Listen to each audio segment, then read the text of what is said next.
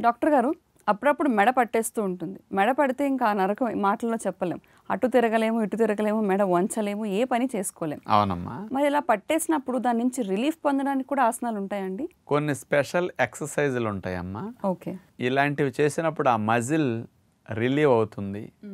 భవిష్యత్తులో మళ్ళీ పట్టకుండా కూడా సహకరిస్తుంది. కొంతమందికి నిద్దట్లో కూడా కాస్త మొత్తగా ఎ- కదలకుండా ఒకే భంగిమలో ఎక్కువసేపు నిద్రపోతారు. ఒకసారి సడన్గా అంత ఎక్కువ కదలకుండా నిద్రపోయినప్పుడు ఒక మజిల్ మెడలో పట్టేస్తుంటుంది. ఇలా సహజంగా నెలకి రెండు నెలలకు ఒకసారి మెడ పట్టేయటం అనేది చాలా మందిలో జరుగుతుంటుంది. ఓకే. ఇలాంటి వాటికి పరిష్కారాలు ఇప్పుడు చూపించే ఎక్సర్సైజెస్. ఐదు రకాలు చూపిస్తున్నాం. ఇందులో మొదటిది చేతి వేళ్ళని అలా ఒకదానికొకటి వేసి లాక్ చేసి ఈ చేతుల్ని వేళ్ళల్లో వేళ్ళేసి లాగుతూ ఈ భుజాల్ని సమాంతరంగా పైకి లేపి అట్లా లాగాల్సి వస్తుంది అనమాట ఇలా లాగినప్పుడు వీపు భాగంలో ఉండే భుజాల ఖండాలు ఇవన్నీ బలపడతాయి. ఇది మొదటి వ్యాయామం.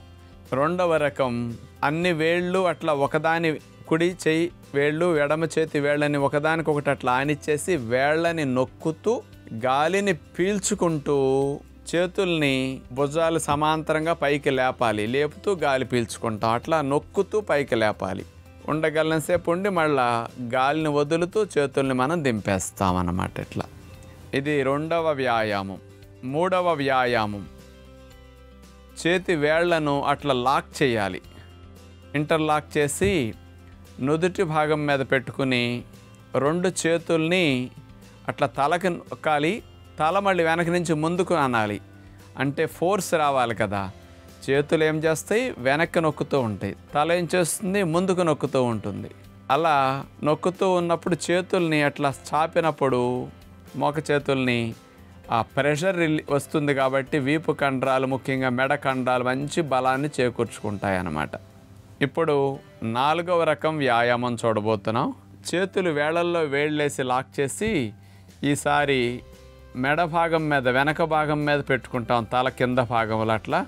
అక్కడ పెట్టి చేతుల్ని ముందుకు లాగుతాం మెడని వెనక్కి గంటుతాం. అట్లా ప్రెషర్ డెవలప్ అవుతుంది అప్పుడు మనం చూడండి ఈ చేతుల్ని వెనక్కి అట్లా విరుస్తూ అట్లా స్ట్రెచ్ చేసినప్పుడు మెడ కండాలు భలే బలపడతాయి భుజాల కండాలు కూడా బలపడతాయి అన్నమాట.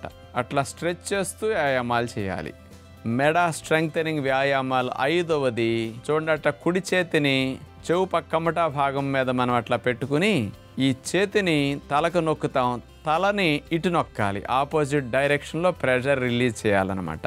మనం అప్పుడు చూడండి తలని చేతితో ఎంత నెట్టుతున్నప్పటికీ తలటు బెండ్ అవ్వకుండా తలని గట్టిగా బిగించాలి. ఇటువైపు అనాలి. ఇప్పుడు ఎడమ చేతిని తీసుకుని ఎడమ భాగం గవద భాగంలో పెట్టి ఈ అరిచేత్తో ఆ గవద భాగాన్ని కాస్త నొక్కుతూ ఉండాలి.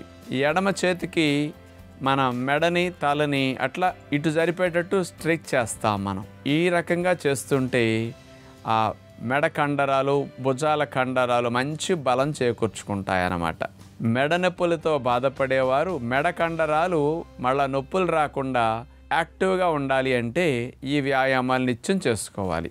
చూసారు కదండి? మెడ పట్టేసినప్పుడు చేయాల్సిన వ్యాయామాలు ఏంటో దాని నుంచి రిలీఫ్ పొందాలంటే గనక ఎలా వ్యాయామాలు చేయాలో మరి ఈ వ్యాయామాల్ని ఈసారి ఎవరికైనా మెడ పట్టినా లేదంటే మీరు ఈ సమస్య నుంచి బాధపడ్డా కూడా ఈ వ్యాయామాలు ఖచ్చితంగా ప్రాక్టీస్ చేసుకోండి. మరి ఇలాంటి మరెన్నో వ్యాయామాల్ని యోగాసనాల్ని చూడాలనుకుంటే జీ ఫైవ్ యాప్ని డౌన్లోడ్ చేసుకుని ఆరోగ్యమే మహాయోగం కార్యక్రమంలో చూడండి.